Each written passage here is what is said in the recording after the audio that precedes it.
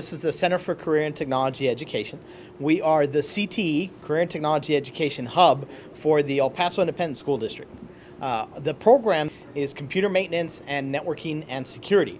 Both programs are dual credit programs with El Paso Community College, meaning that students are, are enrolled at the same time that they're enrolled in our program, they're enrolled with El Paso Community College, and they receive up to 12 college credit hours uh, just by taking our class and, of course, passing our class. I love this program. This program has opened so many opportunities for, for me, and uh, it's going to help me in the future because I'm planning on leaving for college and pursuing my career in the in the technical field.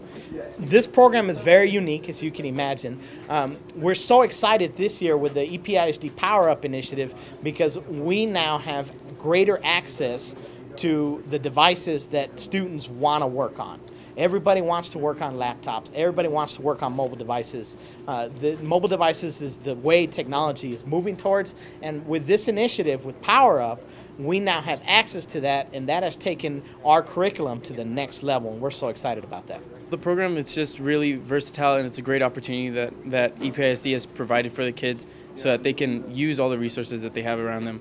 And uh, I'm really glad that EPISD took that step to give this access to kids.